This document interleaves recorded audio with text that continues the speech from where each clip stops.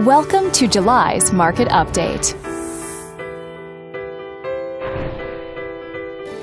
Let's take a look at residential real estate activity in your area during the month of June.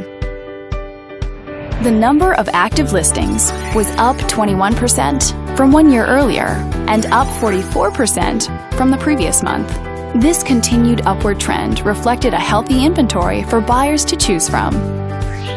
As you can see, the median listing price for the month was $410,000. Compared to last year, the average number of days that units spent on the market before being sold was down 76%.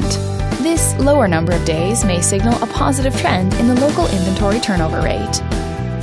The median sale price was just under $390,000. The number of units sold decreased 50% year over year and decreased 56% month over month. Fewer sales could indicate an opportunity for buyers to negotiate better terms. Thanks for watching. We hope you use this information to make smart, informed decisions in your upcoming real estate transactions. Feel free to contact us for more information or further assistance.